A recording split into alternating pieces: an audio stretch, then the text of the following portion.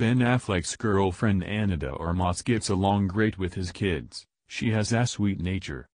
Ana de Armas has no problem bonding with Ben Affleck's kids as the lovebirds have been spotted on multiple occasions enjoying quality time with this three children.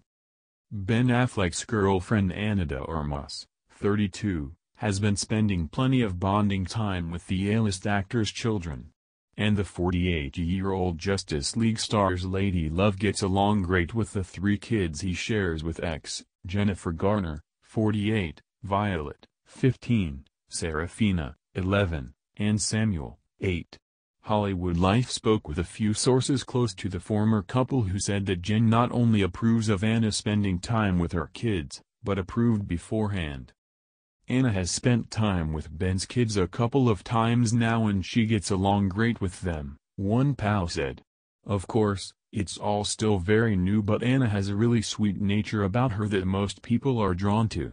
Ben discussed the idea of introducing their children to Ana with Jen beforehand and she agreed.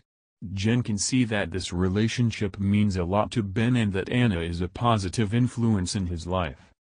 Another friend close to the way-back actor said, Jen is very impressed with Ben right now and his relationship with Ana. He is on the right path health-wise and she feels like Ana has played a really big part in all of that.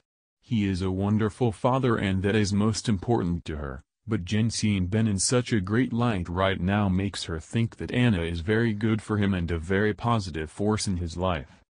Ben introduced Ana to his kids over the Memorial Day weekend in May and they've spent lots of time together since. The couple was spotted walk their four dogs in Los Angeles on November 30th with Seraphina and Samuel two days after the foursome enjoyed a shopping trip at Bonjour Fete in Pacific Palisades, California. They were also seen taking in some relaxation and fun at a park on the same day while hopping on a few bikes and looked as happy as could be. Ben started dating Jennifer in 2004 and they tied the knot a year later in June 2005.